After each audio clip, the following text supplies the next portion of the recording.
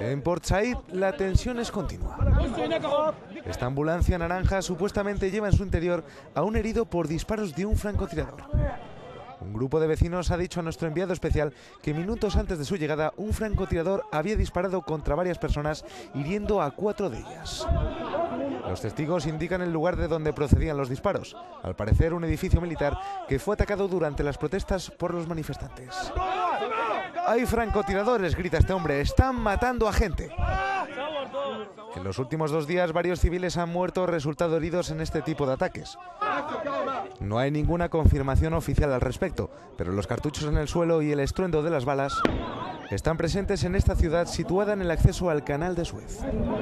Detrás de las rejas de esta ventana se percibe la silueta de un hombre. Enmascarado y con un uniforme de camuflaje, parece tener un fusil en sus manos.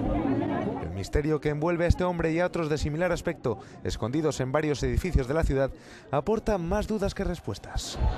Nadie sabe quiénes son estos francotiradores anónimos, militares, policías o activistas. Nuestro corresponsal ha visto el despliegue del ejército, pero asegura que no están interviniendo en las protestas.